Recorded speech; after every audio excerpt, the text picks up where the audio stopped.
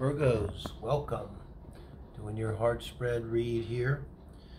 Um, this one's a timeless read. I'm going to do something a little different. Usually I do you and the person on your mind. We do have up from last Wednesday's. Wednesday's, Wednesday's always uh, Leo Virgo Day. Your heart spread like uh, rules that way. And person you're thinking of, person's in your heart. Here I want to do a heart spread. And by the way, using the Ethereal Visions Illuminated Tarot, you give a darn. How's your church bells, Virgo? How beautiful. When they're a little distant, especially coming in and out on the wind. Um, so this is kind of looking at you and you know your anima, your animus, this uh, Jungian concept of the projected um, divine masculine, divine feminine energy that can be projected. Um, but I think it's like the, the heart spread I designed to look at the first house and the seventh house. That's one and two cards. Um, so you and your person, and this uh, second, uh, seventh house, number two card, this is already in the heart spread. I kind of see that as a projection of, uh, like we project into the seventh house what we want. I have Pisces in the seventh, relevant for me in my life. but once we're aware of that, we can kind of take control of uh, our projections, and like uh, Jung said himself, everything that's unconscious gets projected, and we call it fate so that we can begin to take control of our lives, I think, and not uh, be at the whims of fate. We are then at the whims of our own choices. So that's two edged sword, because uh, we can begin to you know make our own choices of what we want to do, um, what's what we think's best for us, um, and it may go sometimes against our first instinct. You know. Um, that's kind of what we're stepping back, taking a look here, particularly if you've been having any trouble with love relationships, any kind of patterns, that's what we'll be looking for here. So pre-shuffled, this is you. Page of Swords. Um, in this reading, this is you, where you are in and around your own relationship with your higher self, really, and your own projection of this uh, romantic energy for love and relationship. So, in this page is kind of looking back here too. So it's young energy um, it's honest, it's frank, it's uh, very Virgo in a way. Um, I feel like you're open to guidance, you know, but you sort of, uh, I get the feeling from this Virgo, someone maybe, you don't exactly have a good concrete idea what you want, how to go about getting it. Um, and, but I get the feeling that you might be open to guidance, and here I'm going to hope from your higher self and we will get three cards of guidance the eight card spread, okay, for this. Wow. So I think this is your higher self saying, look, just to be clear, Virgo, so I don't know why, like with this energy, it feels like it might be hard to get. Um, this is speaking up for yourself. This is realizing in your own mind that you can get and you do deserve, you know, emotional satisfaction and happiness in and out of relationship. But this is in a relationship, Ten of Cups energy, guys. Look what a beautiful Ten of Cups this is too. In the Ethereal Visions Illuminated Tarot deck.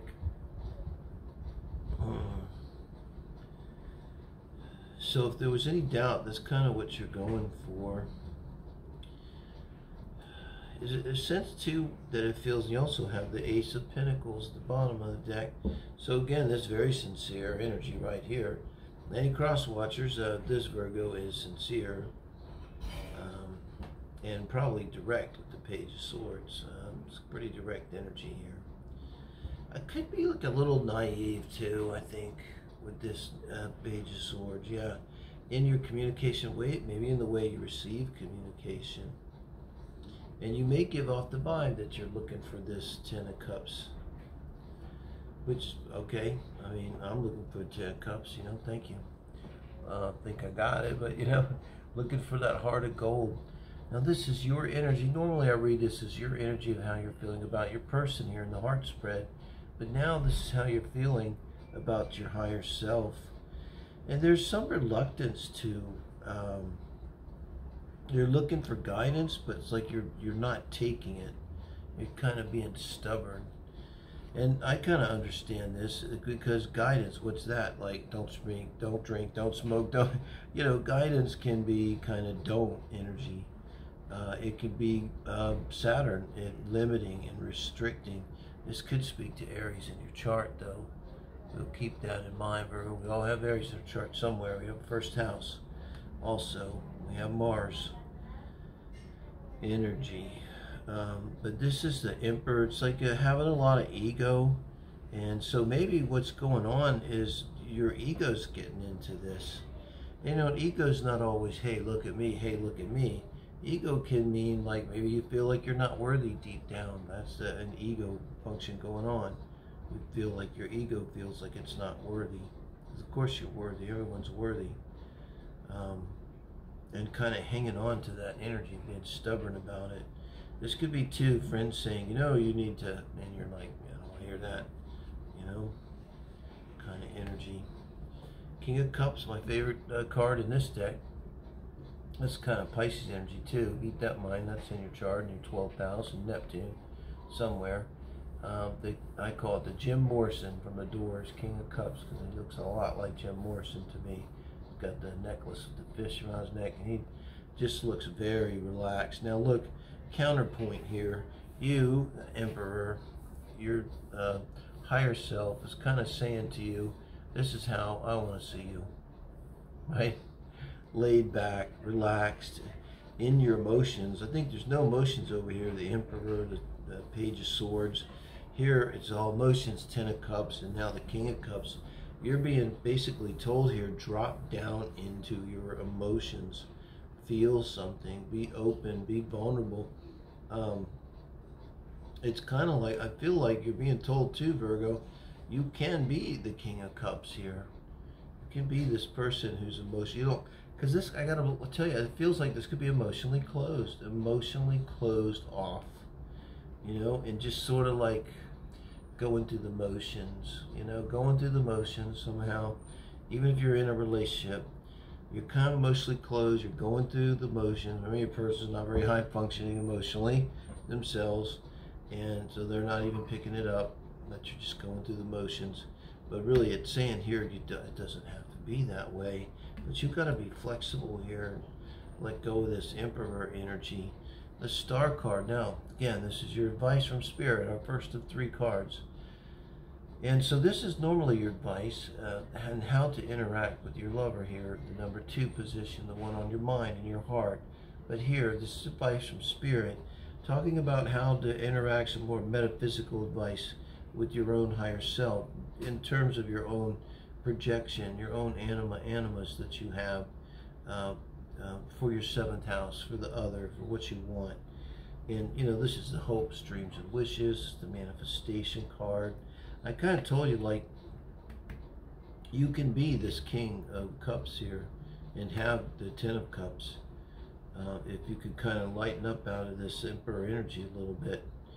And the star card is about our hopes or dreams, uh, our highest aspirations.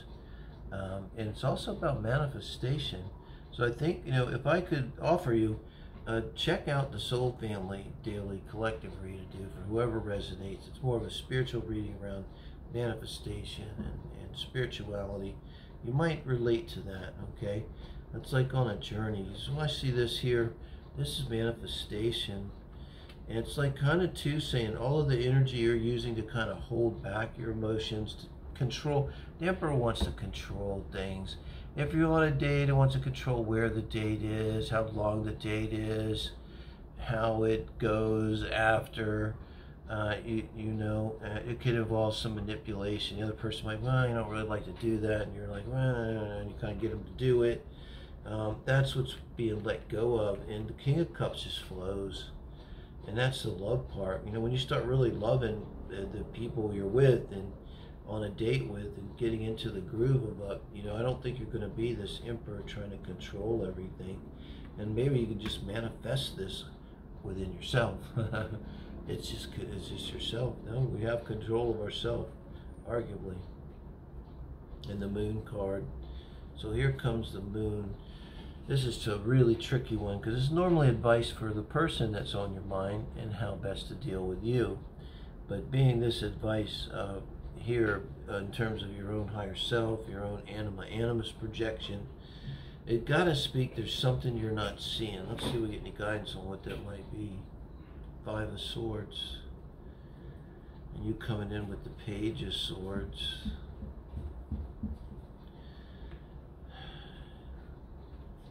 There might be something you and really have to have a conversation.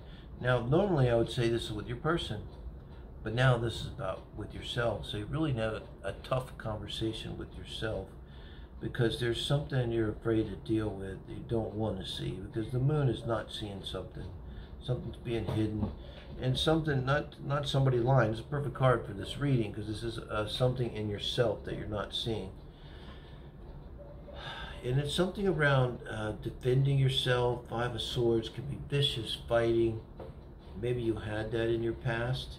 Maybe that's why you're emotionally shut down guys. Um, but then one of the things you manifest, don't say, I don't want uh, violence and control and uh, manipulation and narcissist uh, personalities. You know, say, you know, I want people who are loving and open and emotionally available and who are my King of Cups, Ten of Cups person here and uh, come to me with this Ten of Cups energy. It's high functioning too, very high functioning. Um, and I think that's what it is. And if you've been trying to manifest and been having trouble doing that, you know, and you might actually then manifest people who themselves are kind of struggling with their own issues uh, around uh, maybe not being able to assert themselves, you know, growing up in a home where their opinions were discounted and they had to, you know, kind of fend for themselves kind of energy instead of being nurtured and supportive, right? you can just manifest this. This is kind of good too on the bottom of the deck. Ace Pentacles is always a positive card. Again, advice. This is advice from Spirit normally for the relationship as the whole. Here it's a relationship advice for your own self, for how to best align within your own self. Now the Queen of Wands takes action. Here's the difference between the Queen of Wands and the Emperor now. The Emperor is fixed and controlling and the Queen of Wands is gonna match. Mm, there you go with your King of Cups. You know, very charming, very open, very uh, honest, very frank, uh, very creative energy, um, outgoing energy, uh, fire energy um, in yourself. And this is advice from Spirit. So it's like um, it's not it's not about ego here uh, it's almost like saying it would be best for you to express yourself more, uh, be more of the life of the party, more. This also has Leo energy. You might speak to Leo in your chart now, in your fifth house. But, um, and maybe what you went through in childhood, you know, you weren't encouraged to be yourself, uh, to be outgoing, to be outspoken, you know. Um, to love yourself in a way that's fun and expressive and feeling flowing and open, right? Wow. And I love this. I love this for an outcome, but I tell you, it's not sexy. But you have this energy, and it really is saying kind of open up here. You want to manifest, you know, start expressing this energy you want, open yourself up to it. Um, you know, know that there are people out there who are well balanced and who can, you know, meet you without bringing you problems, you know, um, not disrespecting you. And, you know, of course, you got to respect yourself and have that kind of faith and manifest and just really open up and kind of have fun. Um, and, and when you're the queen, too, it's, it's about confidence, you know, it's somehow cultivating this confidence and then the outcome is you become very well balanced. And this is actually a great outcome for this particular reading because now we're looking at the outcome of this your own relationship with your higher self.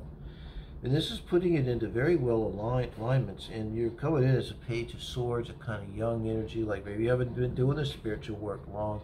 And here already, this is uh, really taking care of business, following daily routines, doing what has to do, personally taking care of things, taking the helm personally and making things happen. Um, and it's a very good energy to be in, um, to then be in a relationship uh, because you would be under some really basic control of yourself and your life. Where there's these are pentacles here, and balance. It will take time and effort, though.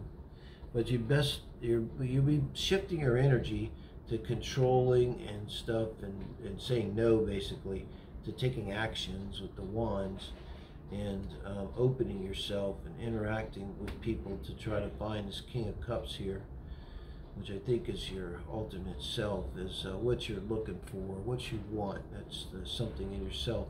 Maybe you didn't have a loving uh, mother or father that really cared about you. Maybe you'll get someone coming in who's like a Cancer energy or a Pisces energy, um, who is very loving and caring.